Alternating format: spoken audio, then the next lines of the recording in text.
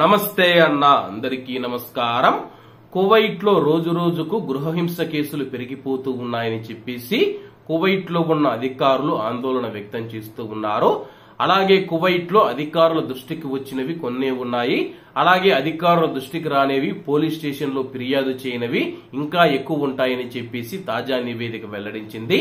వివరాల్లోకి వెళితే కువైట్ కుటుంబ వ్యవహారాల సుప్రీం కౌన్సిల్ తాజా నివేదిక ప్రకారం కువైట్లో మూడు నెలల్లో పిల్లలు మరియు మహిళలపైన హింసకు సంబంధించి రెండు వందల ఇరవై ఎనిమిది కేసులు నమోదయ్యాయని చెప్పి వెల్లడించింది. పిల్లలపైన నూట నలభై కేసులు మరియు గృహహింసకు సంబంధించి మహిళలకు సంబంధించి ఎనభై ఎనిమిది కేసులు నమోదు చేయబడ్డాయని చెప్పి వెల్లడించారు. చట్టపరమైన చర్యలు తీసుకోవడానికి పబ్లిక్ ప్రాసిక్యూషన్ కార్యాలయానికి సామరస్యంగా పరిష్కరించబడని నివేదికలను సూచించామని చెప్పి అధికారులు వెల్లడించారు.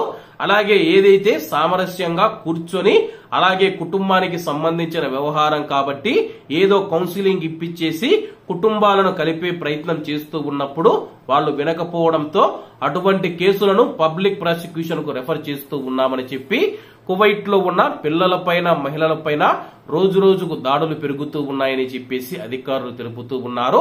అలాగే కువైట్లోని ఇళ్ళలో పనిచేస్తూ ఉన్న ప్రవాస మహిళలు ప్రవాసుల పైన కూడా ఎటువంటి హింసలు జరుగుతూ ఉన్నాయి ఎటువంటి దాడులు చేస్తూ ఉన్నారు ఎలాగ ఎడారిలోకి తీసుకువెళ్ళి చంపుతూ ఉన్నారన్న వివరాలు ఒక నివేదికను తయారు చేసి కువైట్ ప్రభుత్వ అధికారులు విడుదల చేయవలసిన అవసరం ఎంతైనా ఉంది. కాబట్టి అందరూ బాగుండాలి ఎందులో మనం ఉండాలి. అందరికీ నమస్తే అన్న. జై హింద్.